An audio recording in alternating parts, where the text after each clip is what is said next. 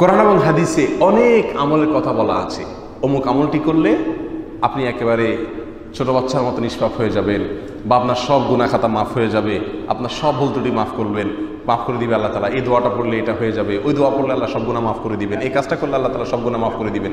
এই জাতীয় যত হাদিস আছে, যত ফজিলত আছে, এর দ্বারায় বান্দার সাগিরা গুনা মাফের কথা বোঝানো হয়।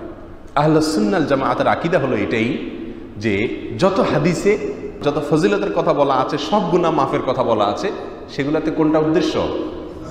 সবিরা গুণা উদ্দেশ্য। এই জিনিসটি না ধরতে পারার কারণে আমাদের অনেক ভাই বোন বিভ্রান্ত হন এবং ভুল করেন। তারা মনে করেন, যত রকমের বড় বড় পাপ আছে সব করি। এরপরে মোসাফা করে হাত ঝাড়া দিলেই সব মাফ হয়ে যাবে। তাহলে তো খুব সহজ। রিমুভ করা কি হয়ে যাবে? সহজ হয়ে যাবে। এই জন্য গুনা ধমসে করে। ওই মুখ দোয়াটা পড়লে, সকালে পড়লে সারা রাতের সন্ধ্যা পড়লে সারা দিনের সব গুণাগুলা মাফ হয়ে যায়। হ্যাঁ? ওমরা করলে এক ওমরা করে আরেক ওমরার মধ্যবর্তী যত অপরাধ আছে সব মাফ হয়ে যায়। তাহলে তো কবিরা গুণা করতে টেনশন নাই। একটা ওমরা করলে ক্লিয়ার হয়ে গেল, মোসাফা করলে ক্লিয়ার হয়ে গেল। ব্যাপারটা কি তাই? না, এটা ভুল। এটা আমরা অনেকেই জানি না। আমাদের অনেক কাছে জিনিসটা পরিষ্কার না। যত হাদিসে সকল গুণা মাফের কথা বলা হয়েছে, এ জাতীয়, সেগুলাতে সগিরা গুনার কথা বলা হয়েছে। ছোট ছোট গুণা যেগুলো, সেগুলো মাফ হয়ে যায় এই সমস্ত আমলের মাধ্যমে। কবিরা গুণা হারাম। এই কাজে যদি কেউ লিপ্ত হয়, তাহলে সেটা মাপের একমাত্র রাস্তা হলো তওবা করা। একমাত্র রাস্তা হলো কি করা? তওবা করা।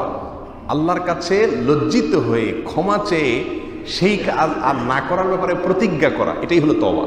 ফিরে আসা। ফিরে আসা। আমাদের সমাজে অনেকেই অনেক সময় ভুল পথে থাকে। আপনারা পাঁচজন মিলে একটা কাজ করছেন, একজন বিরোধিতা করছে, তিনি সেখান থেকে ফিরে আসছেন যে, সরি, আমি ভুলে ছিলাম, আমি আর বিরোধিতা নাই। এটাকে বলে তওবা। অন্যায় কাজ থেকে ফিরে চলে আসা, আর অন্য কাজ করবে না এই মর্মে প্রতিজ্ঞা করে ফিরে আসা, এটার নাম হলো তওবা।